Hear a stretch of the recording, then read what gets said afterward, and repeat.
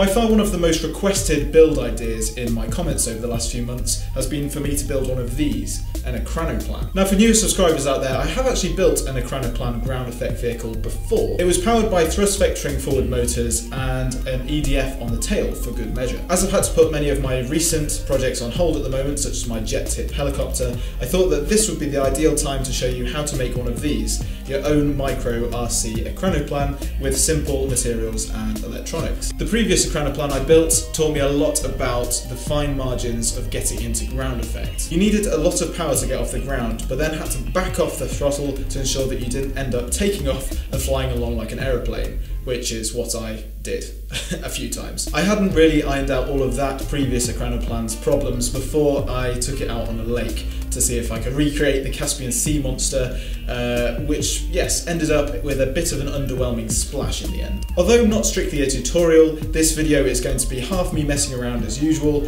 and half me sort of showing you how to put one of these together yourself at home. Right, let's have a look at my first attempt to build an Ekranoplan ground effect vehicle on a very small scale.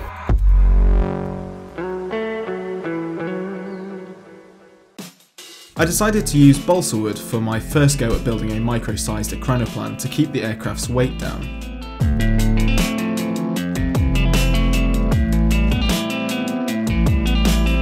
Trap lots of air under the wings, I needed to angle them fairly severely and keep the gap to the ground to a minimum to increase the effectiveness of the ground effect. These wing fences at the side prevent air from spilling out from under the wing to also help increase the effect. This works just like the real life Ekranoplan, which shoved air under its wings as it moved along. You can think of ground effect vehicles as almost like hovercraft, but unlike hovercraft they use airspeed to create a bubble or cushion of high pressure air. I find it fascinating that it's possible for huge Ekranoplans to take advantage of this aerodynamic phenomenon, lifting a giant machine off the ground with small stubby wings. It's quite impressive what ground effect can help you to do. Ekranoplans, after all, hold the record for the largest payload ever lifted by an aircraft. It's because of this I'm surprised that not many people have actually heard about them. It's probably partially down to the fact that Soviet Ekranoplans were pretty hidden from the Western world in their heyday, but even so it seems odd that not more people are aware of these mighty machines today. Before going on further with the build, I decided that I should do some research to see just how unknown these things are, even in their native homeland, by asking a Russian.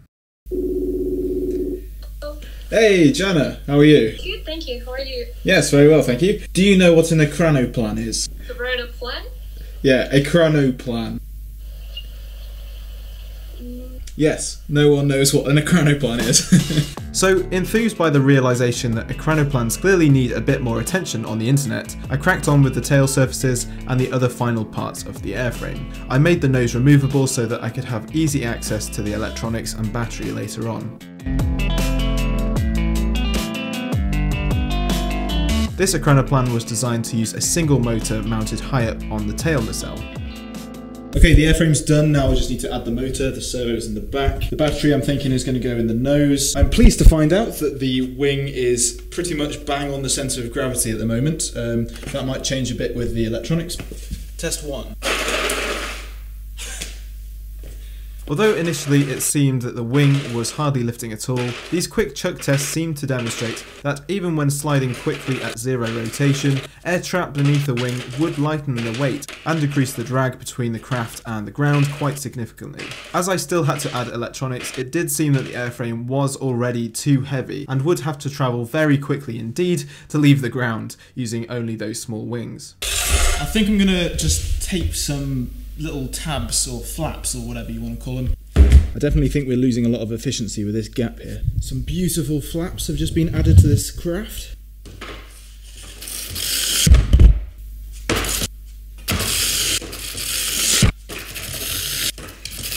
I went ahead and added the electronics anyway to see if the extra control would help me to pitch the nose up and increase the lift of the wing when travelling along. At such a small scale, being light is key, but I thought I'd have a go at trying to make this airframe work.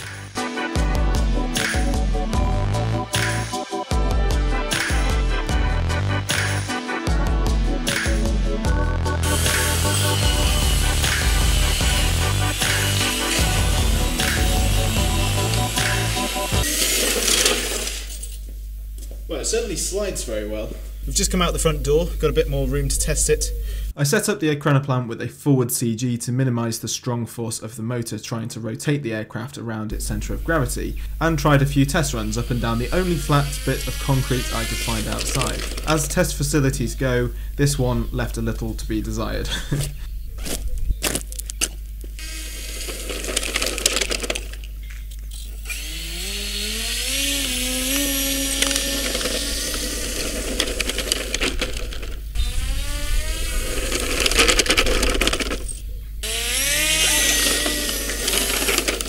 Demonstrated by the hovercraft-like power slides of the Ekranoplan when moving forward, you can see that we were able to get the thing riding along some high pressure to a small extent. However, after this test, I ended up rebuilding the tail and removing the motor and power system, and instead going for a much lighter setup overall. Before this though, I thought I would spruce up the colour a little in the hope that red might make it go a bit quicker.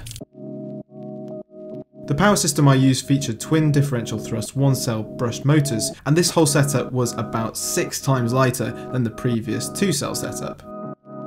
Again you can see the potential but in the end I decided that the over engineered balsa airframe was simply too heavy and I might find more success in building a Mark II by starting over again. Crashing the thing off the table also helped me come to the same conclusion. It was at this point that I had another idea. Perhaps sparked by the hovercraft-like performance of the previous design, I remembered that I had one of these, a tiny Whoop micro hovercraft made by Badass Drones.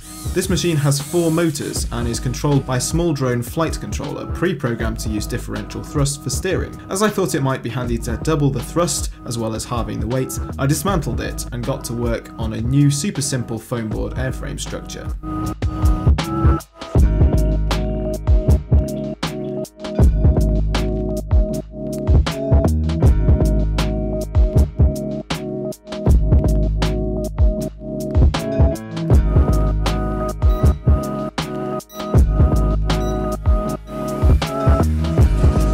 Immediately with this new design, I found that even at slower speeds, the four props could blast lots of air beneath the wing to lift it and reduce drag. At higher speeds, the Ekranoplan could move extremely smoothly, touching the surface at only a few small contact points.